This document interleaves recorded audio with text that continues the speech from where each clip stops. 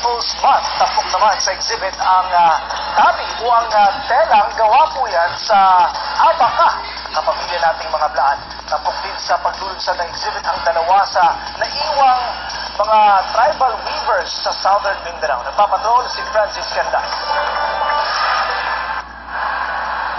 Kung may tinalak ang mga tiboli, tabi naman ang telang hinahabi ng mga blaan.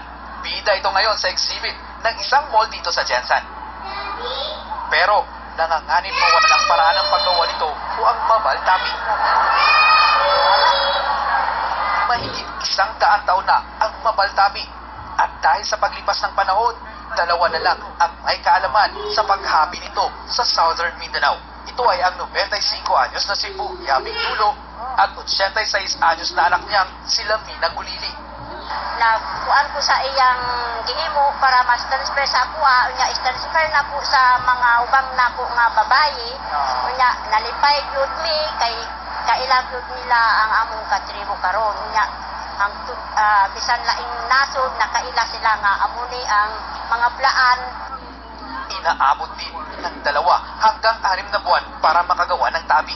Ibinababad ang mga hibla ng abaka ng isang buwan sa tinta mula sa aswete, mga bahagi ng punong kahoy at iba pang natural na sangkap para magkaroon ito ng kulay. Oo. ang abaka di ba ano yun na isumpay sumpay kada isa pagkasumpay yun yan ang gawas niya ayan May pa siya. may practice siya yung ginakuha ang kolo, pangkol? ay yung kahoy ng ugat niya tapos yung kahoy ng ah, yung kuan yung pula kahoy din yan Sining ang paghabi ng tabi. Hinuhugot ni Fu Yabing ang inspirasyon sa kalikasan at mga nakikita sa panaginip.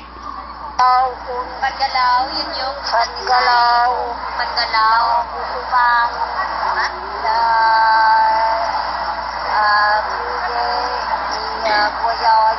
Yung crocodile na na Kuye, Nagultak, Nagultak, Nagultak.